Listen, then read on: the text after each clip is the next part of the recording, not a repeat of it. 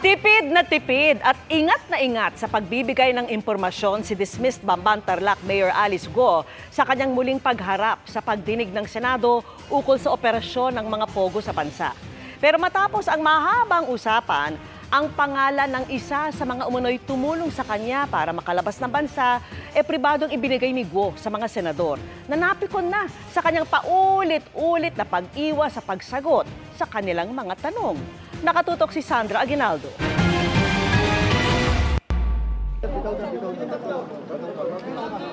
Naka-bulletproof vest at helmet at napaliligiran ng mga babaeng pulis si dismissed Banban Mayor Alice Guo nang dumating kaninang umaga para dumalo sa pagdinig ng Senado ukol sa POGO operation sa bansa.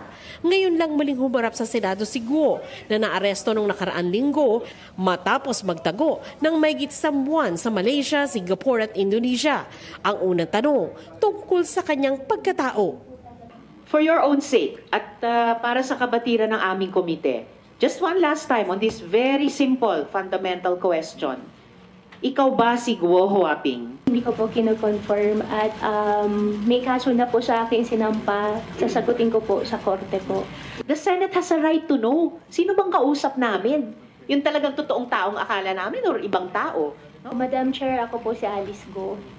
Well, uh, napatunayan na po namin eh, na hindi kayo si Alice Guo. Kayo ay totoong si Guo Huaping. Hindi lang ang komite ang umabot sa ganyang conclusion, ang NBI mismo at ang isa pang ahensya. Ipinakita din kay Guo ang alien fingerprint card ni Go Waping na Chinese national at ang fingerprint ni Alice mula sa biometric printout ng NBI. Ito ang pinagbasehan ng NBI sa pagsasabing isang tao lang sila. Is that your signature, Alice? Uh, doon sa under po ng picture po, signature ko po yun, pero oh. hindi ko po alam paano nangyari po yun. Paano hindi mo alam paano nangyari yun? Hindi, hindi ko po talaga alam, Sen. Marami sa tanong ng mga senador ang hindi sinagot ni Guo. Paulit-ulit niyang ininvoke ang kanyang right against self-incrimination o hindi pagsagot sa tanong kung ikapapahamak niya. Sabi ni Alice, may mga kaso na raw kasing nakasampa sa kanya. Idinahilan din niya na may banta umano sa buhay niya ang mga taong hindi niya pinangalanan kaya hindi niya masagot ang ibang tanong. Sen, andito po ako, safe na safe po ako, alam ko po Oh, yes. yun. Oh. Pero pagkatapos po, pagkatapos po ng session, paano po ako, yun lang, doon po ako nagwa-worry. Kaya ang mga senador nainis. That, that answer is uh, unacceptable. As far It is as- unacceptable, Presentation Senator. is concerned. Because Sen Joel. ah, Pero parang sasagutin dinadamay natin niya yung buong committee sa kanyang safety pag ganun. Malay namin kung binobola mo kami rito. Pagkatapos mo kaming bastusin, binobola gaganyanin mo kami ngayon, sasagutin mo kaming ganyan, pagkatapos mo kaming bastusin, pagkatapos mo kaming takasan, sasabihin mo may death threat ka, tapos di mo masabi kung saan galing yung death threat mo. Miss Alice, pinaalalahanan kita, you never raised security concerns to, to the committee before. Nito na lamang na aresto ka na at ipinalat dito. Kaya muling na-cite in contempt si Alice. Uh, I move to cite Guo Huaping, also known as Alice Guo, in contempt of the Senate for testifying falsely and evasively before this committee. Kaugnay naman sa pag-alis niya sa bansa nung pinaghahanap siya ng mga otoridad, sinabi ni Alice na sa dagat sila dumaan ni na Sheila at Wesley Guo papuntang Malaysia. Umalis daw sila sa Maynila sakay ng isang yate, lumipat sa barko at naglayag ng may apat na araw, tsaka lumipat sa mas maliit na bangka patungong Malaysia.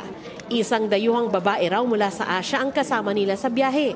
Wala na rin daw silang dalang cellphone noon. Hindi kayo lumalabas dun sa deck ng barko? Hindi po. Hindi ba nakaka-claustrophobic yan? Actually, nung nakasakay na po kami sa malaking barko, sa totoo lang, kung pwede lang matras, atras na rin ako nun.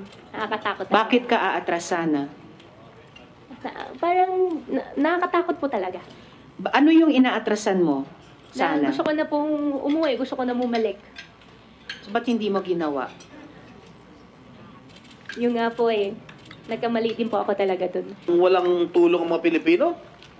Wala pong tumulong, wala pong tumulong, wala pong nakatulong po na Filipino po, Sen. Eh, sino- Nang tanungin kung sino ang may-ari ng yate na kanilang sinakyan at kung sino ang tumulong sa kanya para ayusin ang pagsakay niya rito, pahirapan sa pagbigay ng detalye si Guo.